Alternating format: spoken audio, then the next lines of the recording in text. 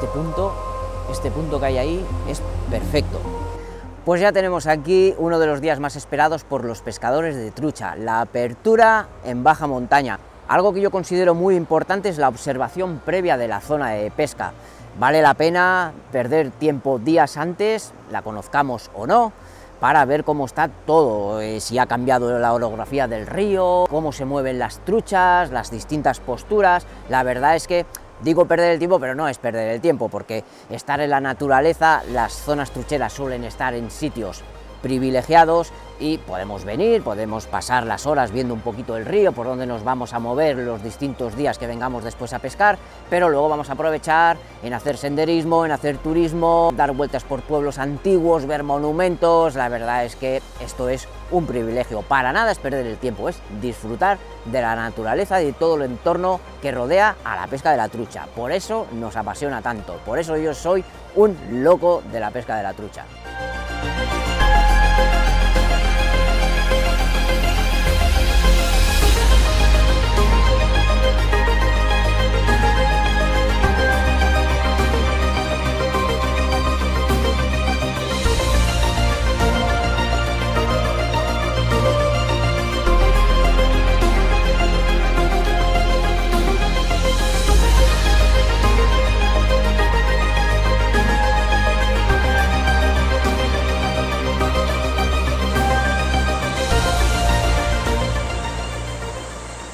Muy importante en estas fechas la observación previa para no perder el tiempo y descartar zonas e insistir en otras. Aquí tenemos el sitio perfecto para comenzar a pescar a principios de temporada. Hay que tener muy clara una cosa, y es que la trucha ahora, aunque puede estar un poco agresiva después de los meses de veda y puede tener un momento en que se tire con decisión a un señuelo. Las truchas no están fuertes ahora mismo, eh, no es lo mismo pescarlas ahora que dentro de un par de meses o semanas después. No se van a situar en zonas de mucha corriente, van a priorizar las zonas profundas, las tablas lentas, las orillas someras, las zonas someras son perfectas, eh, aunque sean zonas muy orilladas, pero son zonas calmadas donde encuentran mucha comida. Y es que son meses, estos meses de invierno la trucha ha salido de la freza, no hay mucha comida, entonces no está fuerte. Y los ríos pueden tener mucho tiro de agua, puede, puede haber muchas zonas con más corriente de lo habitual, porque tenemos el deshielo y tenemos también las lluvias. Por eso la observación previa es clave. Aquí, por ejemplo, tenemos una zona de entrada de corriente bastante fuerte para las fechas que estamos, es normal. Vamos a descartar esa zona, esa la pescaríamos semanas posteriores, y ahora nos vamos a centrar más en la zona justo donde la corriente se, comienza a parar y es una zona profunda. Ahí vamos a poder meter un Ryuki 70, por ejemplo, y pescar bien profundo. Y luego también eh, tenemos una zona bastante calmada que además enseguida le da el sol, así muy somera en la orilla, es muy buen sitio, muy buen sitio por ejemplo ahí para pescar con un señuelo flotante. Y luego vamos a insistir un poco más en la zona central de, lo que es la tabla, pues con un yerbait y dejarlo suspendido, y tenemos luego esta zona de aquí, esta zona de aquí que es la salida de agua, hay además un corte donde empieza a haber poca profundidad, en ese corte, en esas piedras se suelen posicionar mucho las truchas, a la espera de lo que arrastra toda la corriente, la comida, y la verdad es que para pescar eh, a principios de temporada este sitio es, es, perfecto, aparte el río me lo conozco muy bien, es una poza con muy buenos peces, pero hay que ver el río previamente, puede haber cambiado, eh, bueno, las lluvias, las riadas, quizá los peces que había en la temporada anterior ahora no están, por eso es muy importante venir y ver el río y ver cómo está todo.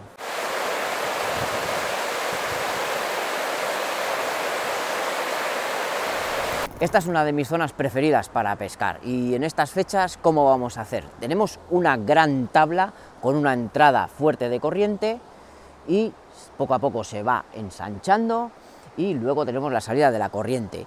Al inicio de la tabla tenemos una zona que casi casi podríamos decir que es como una poza porque es muy profunda y es ahí donde vamos a insistir. Podemos utilizar pues bueno, pues un Ryuki hundido, un talla 60-70 por ejemplo ahí que hay mucha profundidad sería perfecto y luego a medida que la tabla se va ensanchando ya tenemos una zona justo antes de que salga la corriente, vamos también a insistir en todo este tramo y aquí ya podemos utilizar, aquí ya suele ser una zona que, bueno, hay un poquito menos de profundidad, pueden haber buenas piedras, aquí ya la cosa cambia un poquito, aquí podemos pescar, por ejemplo, con cucharilla para hacer el abanico, es una zona perfecta, y también pues podemos pescar con pequeños swimbaits tipo Ryuki 4, un microdon, que son muy naturales, así en zonas de poca profundidad y que no tienen mucha corriente, o por ejemplo con un Ryuki 50 o 70, pero flotante, aquí hay menos agua, y es insistir con señuelos que no se hundan tanto. Aquí tenemos unas piedras muy buenas, aquí hay unas piedras muy buenas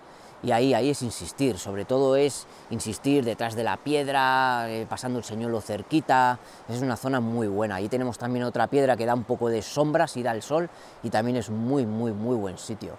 Esta es una zona impresionante, hay aquí unos paredones de roca, es como una garganta y el río se encauza y bueno, justo ahí el paredón acaba en el agua, la parte del río que va más pegada a la pared, hay bastante profundidad, hay un tramo ahí muy bonito, ahí además, ahí, ahí se está moviendo una trucha, ah, es que es una pasada, ahí es para meter un ryuki hundido y tocar todo ese tramo con más agua, ah, es increíble, es increíble.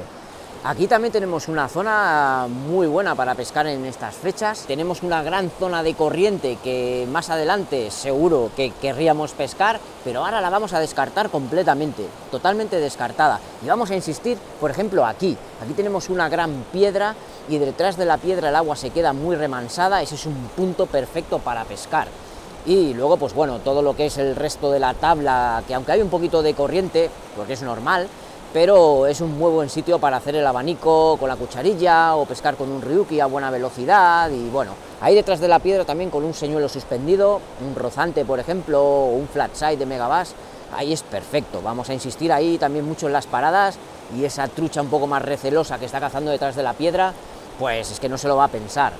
La verdad es que este es uno de los tramos ideales para que veáis cómo se pesca ahora en estas fechas, descartando zonas de mucha corriente y insistiendo mucho en todos estos sitios con, las, con el agua un poquito más parada, más calmada, cualquier obstáculo que genere un parón en la corriente, ahí las truchas se van a apostar ahora en estas fechas y van a estar comiendo tranquilamente.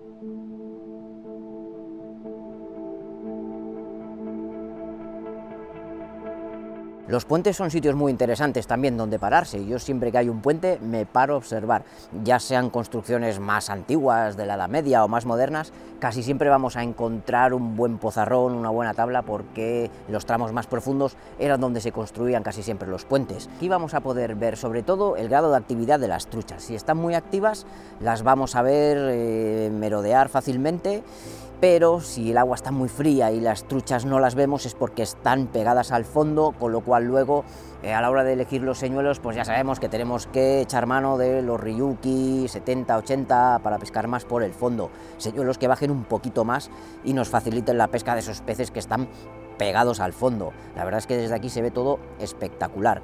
También si encontramos, por ejemplo, algún árbol en medio de la corriente, pues bueno, eso siempre es interesante, lo vamos a tener presente.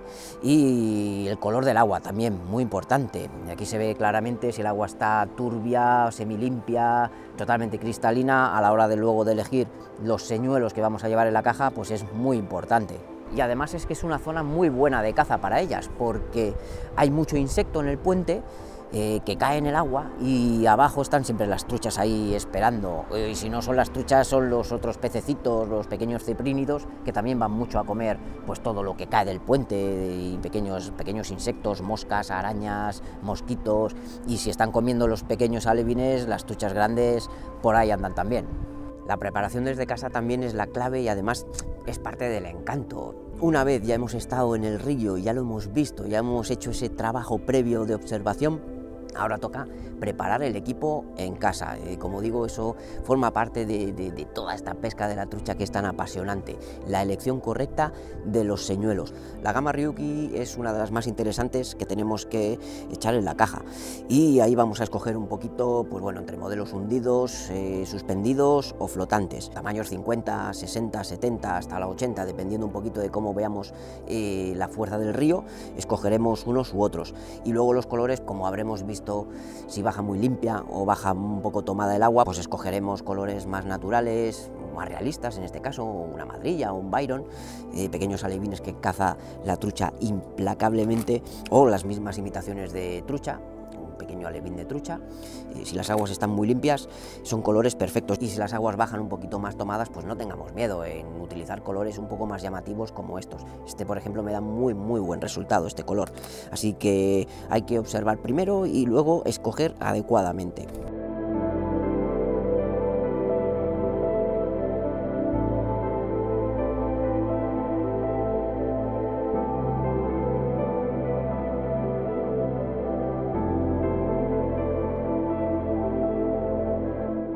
He cambiado de valle, ahora estoy en el río Ara, es uno de mis ríos preferidos para pescar la trucha. Es el único gran río del Pirineo totalmente salvaje, no hay ninguna presa desde que nace hasta Ainsa. Y la verdad es que si buscamos grandes truchas y de las más bonitas del Pirineo, este río es perfecto. Es como se ve ahí, por ejemplo, hay mucha profundidad en la parte de la pared, ahí es muy buen sitio para lanzar señuelos ya de buen tamaño, ¿eh? un Ryuki 70, 80, un Rozante 77, eh, un Vision de Megabass, no tengamos miedo en utilizar señuelos un poquito grandes en pozas así de gran profundidad, las truchas grandes son súper depredadores. Aquí, aparte, tenemos la corriente fuerte que entra, ese tramo de entrada, como vengo diciendo en el vídeo, lo vamos a descartar y vamos a insistir aquí en el pozarrón y también en la parte final en la parte final donde sale ya la corriente, ahí cubre un poquito menos, pero también es muy buen sitio, ahí podemos pescar, bueno, ahí podemos lanzar una cucharilla en abanico o algún señuelo flotante, o con un ryuki, por ejemplo, darle un poco de velocidad, pero el Gran Pozarrón es un sitio donde ahora hay que insistir, porque si hay un momento donde nos puede salir una buena trucha, es ahora, que hace meses que no ven un señuelo, y aquí con mucha agua ellas se sienten seguras y ahí están, ahí están, hay buenas rocas en el fondo y es perfecto para lanzar un señuelo de buen tamaño. Este sitio es ideal, ideal, me encanta. Vamos camino de ese gran tramo de agua embalsada y justo antes, justo en la entrada, otro tramo con mucha, mucha corriente y muy fuerte. Ahí sí que la verdad casi casi podrías hacer rafting, pero no quiere decir que no lo podamos pescar, porque como se ve, eh, fuera de la corriente, eh, las orillas someras tienen bastante profundidad y el agua está bastante calmada. También son buenos puntos para tocar justo fuera de la corriente fuerte y eh, tocando ahí, lanzando, por ejemplo, con señuelos flotantes, sería un muy buen sitio. Un Ryuki 50 o 70 flotante sería un muy buen sitio para pescar despacito, todas las zonas más orilladas, que se ven muy tranquilas. Es un sitio muy bueno para pescar ahora en estos momentos y las semanas posteriores, porque la corriente es espectacular, pero va, va muy, muy encauzada por grandes rocas y justo en los laterales tiene tramos eh, bastante someros y tranquilos y hay bastante profundidad, es un tramo muy bueno, muy bueno.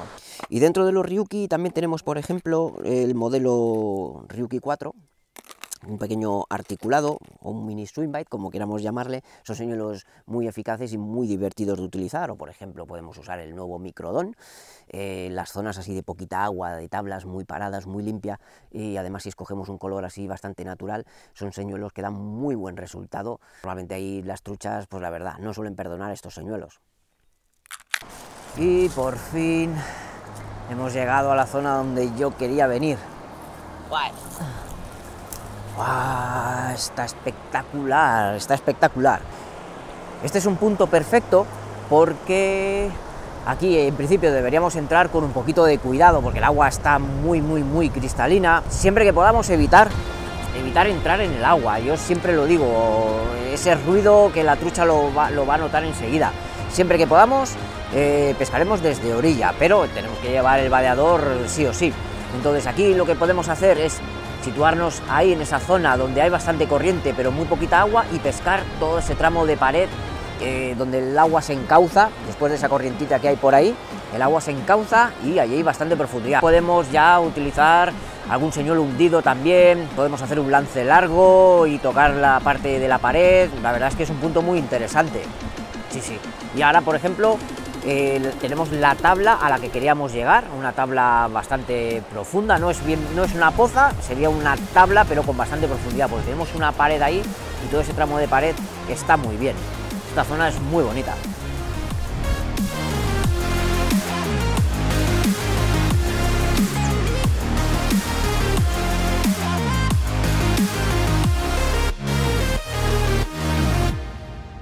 Y ya hemos llegado, llegamos. ¡Ay, qué bonito! Este es uno de mis tramos también eh, que me gusta pescar eh, durante toda la temporada de pesca, pero ahora es perfecto.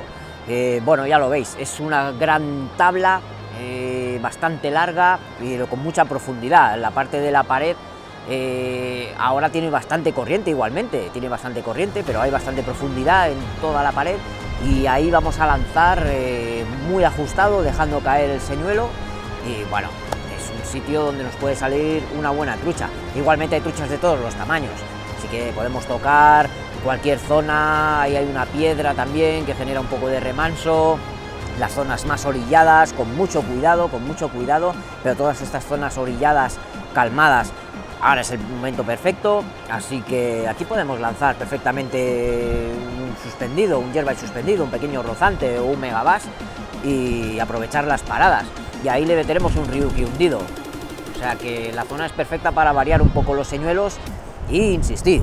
Y luego tenemos las clásicas cucharillas, aunque bueno, el nuevo modelo de Ryuki, el Ryuki Spinner, es un poquito más moderno, tenemos un cuerpo simulando un pez. No es plomo, es muy importante, es una aleación sólida, no es plomo, con lo cual para pescar en zonas donde la prohibición del plomo ya es efectiva, como por ejemplo en Cataluña, pues es una opción muy interesante. Y la verdad es que gira sobre su propio eje, no vamos a tener problemas. Y la cucharilla también, además de que tiene aquí un esmerillón, ya he hablado de ella en algún anterior vídeo, pues lo voy a dejar por aquí arriba.